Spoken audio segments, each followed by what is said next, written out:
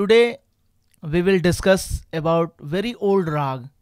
The name of the rag is rag Bhairav तो भैरव की बात करते हैं तो सबसे पहले हम भैरव थाट की बात करते हैं। पंडित विष्णु नारायण भातखंडे जी ने दस थाटों की स्थापना की। इन दस थाटों में एक थाट भैरव भी है। Vishnu Narayan Bhatkhande ji establish ten thaats the first thaat is Bilawal then Kalyan then one of the thaat is the name of the thaat is Bhairav. Bhairav एक प्रकार का थाट भी है। तो भैरव थाट की पहचान ये है कि इसमें दो स्वर कोमल होते हैं। वो दो स्वर का नाम है रे और धा। In Bhairav thaat we use seven notes sa, re, ga, ma, pa, dha, ni in which two notes re and dha is komal. And the rest of the swar is shuddh. रे और ध स्वर कोमल होते हैं और बाकी सारे स्वर शुद्ध होते हैं। तो राग भैरव अपने थाट भैरव का आश्रय राग माना जाता है। आश्रय राग कहने का मतलब होता है जो उसी थाट से पैदा हुआ हो, जन्म लिया हो। यानी उसी थाट के जो स्वर हैं, सा, रे, ग, म, प, ध, नी, वो इस राग में लगते हैं। भैरव थाट के कई और राग हैं, जैसे बैरागी भैरव, अहिर भैरव, नट भैरव। तो आश्रय राग की बात करेंगे तो भैरव थाट का आश्रय राग है। राग भैरव राग Bhairav is the ashray raag is in the thaat Bhairav. राग भैरव में कुल सात स्वरों का प्रयोग किया जाता है। सा, रे, ग, म, प, dha, ni. In raag Bhairav seven notes are used sa, re, ga, म, pa, dha, ni in which to swar, re and dha, rishabh and dhaivat. The full name is rishabh re dhaivat dha. रे एंड ध इज़ कोमल। रे और ध इस राग में कोमल लगते हैं और बाकी सारे स्वर इसमें शुद्ध होते हैं। तो इसकी जाति की जब बात करते हैं तो जाति of the raag Bhairav is संपूर्ण संपूर्ण। संपूर्ण संपूर्ण मीन्स संपूर्ण जाति की पहचान होती है कि इन संपूर्ण जाति सेवन नोट्स आर यूज्ड तो आरोह में भी जाते समय हर राग का अपना एक आरोह अवरोह होता है उसी आरोह अवरोह के अकॉर्डिंग उसकी जाति डिसाइड की जाती है। तो आरोह अवरोह भैरव का क्या है? सारे गामा पध निशा सानी धा पमा सा। दैट इज़ इन आरोह we use seven notes and in अवरोह we also use seven notes आरोह अवरोह सेवन सेवन दैट इज़ संपूर्ण संपूर्ण। तो जब भी हम जाति की बात करेंगे तो आरोह अवरोह दोनों को काउंट करेंगे। तो द जाति of the raag Bhairav is संपूर्ण संपूर्ण। उसके बाद आते हैं वादी संवादी। वादी संवादी, जैसा कि मैंने आपको बताया कि वादी संवादी राग का दो, राग के दो प्रमुख स्वर होते हैं। The most use swar of the raag is known as vadi then the second most use swar is samvadi. तो वादी और संवादी इस राग का वादी है ध, कोमल ध। चूँकि मैंने आपको बताया कि इन द राग भैरव, रे एंड ध इज़ कोमल।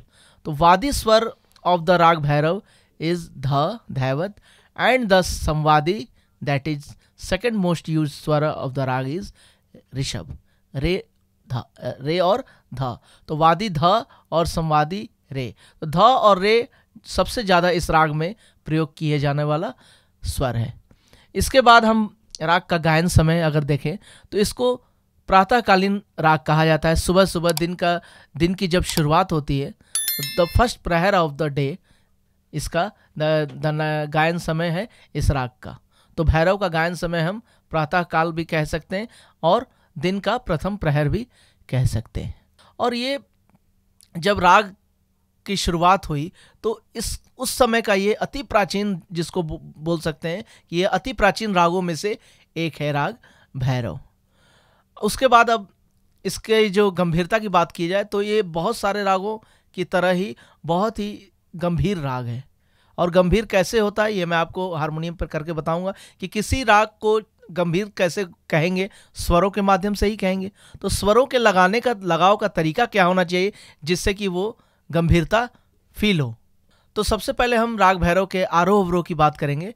तो राग भैरव का आरोह अवरोह मैं आपको एक बार हारमोनियम पे बजा के और गा के भी बताता हूँ, जिससे कि आपको इसकी गंभीरता का एहसास होगा।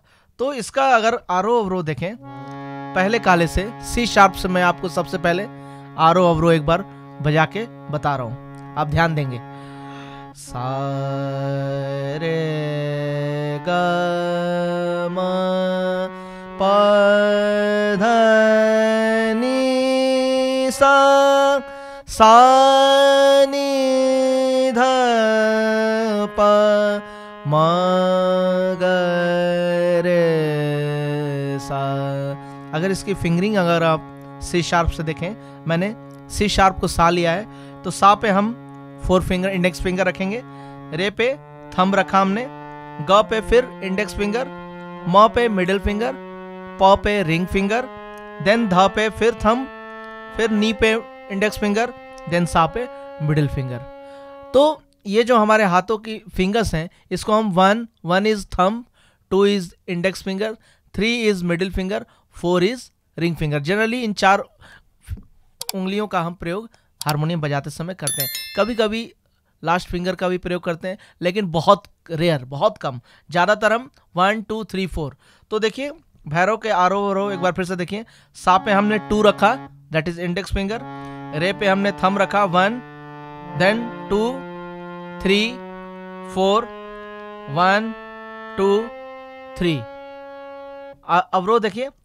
Three two one four three two one two तो सा पे अगर आप मिडिल फिंगर और इंडेक्स फिंगर में से कोई भी रख सकते हैं, दोनों ठीक है। अब इसको थोड़ा सा मैं एक बार आपको थोड़ी सी लय बढ़ाकर इसको एक बार बजाता हूँ, देखिए। और बजाते समय आप ध्यान रखिएगा कि finger should be like that इस तरह से आपकी फिंगर होनी चाहिए, ना कि ऐसे।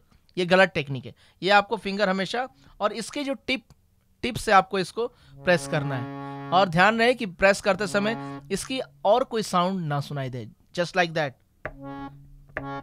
this is wrong this is wrong technique आपको बड़े ही आराम से स्मूथ तरीके से you have to press the keys जिससे कि और कोई आवाज़ नॉइज़ न सुनाई दे। फिर से देखिए।